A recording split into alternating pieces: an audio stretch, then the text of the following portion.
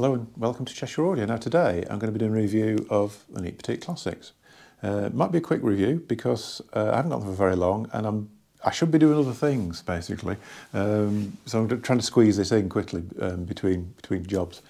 Uh, because partly because these are absolutely brilliant and I didn't want to lose the opportunity to talk about them on, on, on, on camera really. Um, firstly, let's talk about the history of Neat because um, 30 years ago, 31 years ago probably now, their first product was the Petite, and that was literally all they did. They did the, the Neat Petite was was it. Um, but they made a massive sort of impact in the sort of audio, world. I, re I, remember them. I remember them coming out and hearing them for the first time. Um, small box, seemingly quite ordinary drivers in there, and this massive engaging sound, and it, it sort of I remember sort of the disbelief that how on earth are they doing that? Um, I mean, there was other speakers at the time, and there was things like Acoustic Energy A1, there was Rogers LS35As, Linn Kans, there was um, various speakers from Royd, but they all had their own little either niche or quirks. I mean, the AE1s are hard to drive, LS35As tended to be put with quad and suited certain sorts of people. Uh, Kans tended to be used with Linn Naim stuff and suited certain sorts of people. The Royds, I think, with the exception of probably of the Sintra, were aimed at the lower end of the market, but they were just a lovely, clear, punchy sounding speaker for, for probably things lower down, really. Uh, like I say, apart from the Sintra, which was wonderful. Um, but this along comes the Petite, and it sounds great on budget system, but put it on a high-end system, it's just they just keep kept getting better. They were, like I say, huge, huge sound scale, very engaging, very natural sound. Um, projected into a room really well. They weren't you weren't stuck to just using them in small rooms, which quite often with small speakers is the thing. I mean, there's things nowadays. There's a few small speakers that I do. You can't put into bigger rooms because they just don't they just don't project enough. Uh, but I seem, to, I seem to remember the originals were very good at that. You, you could sort of lose them in the room and you know, get this massive sound off them. Now the, the new versions. I mean, there's been there have been very. Pick me drink up. I'm not, drunk enough. There's been various incarnations of the Petite since the original. There's only Petite 2, Petite 3, Petite SX, um, and they went from an original. I can't think what the original was. It was it an inverted dome or a uh, I can't think what the original drivers were, but they went through different, like into a ribbon drive and whatever else. The new version, you can see we've got ribbon driver, um, fairly decent bass unit, nice, beautifully made cabinet actually. Um, what the classic is, the classic is the continuation of the petite name, but the reason that they've sort of brought it back was it's a bit of a longer story actually.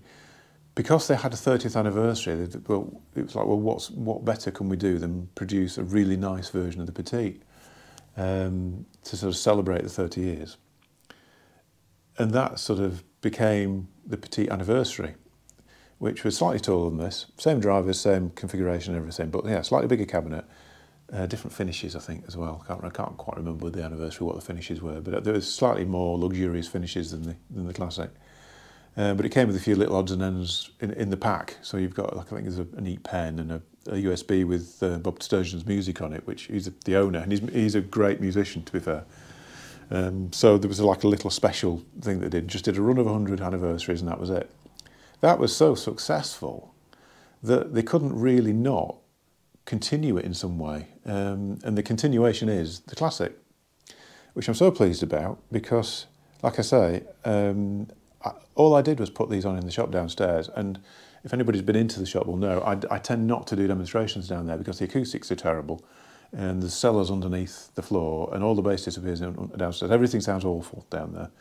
Um, but I put these on and straight away it was like, these are something special these are something very special because I've had all sorts of things just playing down there, and um, it's not often that I put something on and think, oh, okay. Um, so yeah, um, the Petite Classic, it's um, again taking me totally by surprise. Um, I think I'm going to do loads of, and to be honest, somebody actually, yeah, somebody came into the shop while they were playing downstairs. Well, I think they've been connected up for an hour, and somebody walks in, so, oh, these are very interesting. Oh, I, bought a pair. I sort of ordered a pair on the spot. Didn't try them at home, didn't try them in the dem rooms, just heard them in the shop and said, yeah, I'll have some of those. They're really good. Uh, I mean, they're not cheap. I mean, I, have told the price to a few people and they've gone, really? Uh, they're £2,000, but if you compare them to uh, other things that you know on the market at the time at the, at the moment, there's nothing. I don't think there's anything that really approaches them sound quality wise. And there's things that I do that are seriously more expensive than this that aren't really that much better. Um, I'm not going to mention names, but um, yeah, I think they've they've really hit on with these. I thought I'm, like I said, really pleased, really pleased with them. Um, uh, construction wise, I mean, they're sort of I think they need a good stand. Actually, I've been I've been running them up in the top dem room today uh, on solid steel stands, which I'll show you in a second. Actually, I'll just move the camera around and show you that. uh, in white on the white solid steel stand. They look really good. They just seem as though they're just the right proportions for them. Um, they are ported. Uh, interestingly, it's twin port. They've got a, a damp port, one with a, a foam bung in it, and a, an open port. I haven't asked them actually um, with this whether or not the, the foam bung is sort of an optional, because a lot of speakers come with bungs to slow the airflow down a little bit. It might just be that that's a method of tuning it actually. But they seem to be fairly happy close in, they seem to be fairly happy away from a wall, they seem to be fairly happy whatever you do with them, whatever you drive them with, whatever you do to them, they just seem to be good, uh, which is quite unusual for speakers. You don't often get that really, where they, they just seem to be good in all situations. But then they do seem as though they get better. If you put a bigger amp on there, you can tell, you know, the actual um, you can tell the quality of what you're putting through them because they just they, they just increase in line. So, so yeah, um, can't say any more really. I think that's about it. What I'll do, like I said, I'll, sh I'll show you them on the stand because I think that they look really good. Um, yeah, let's turn the camera and have a look at that.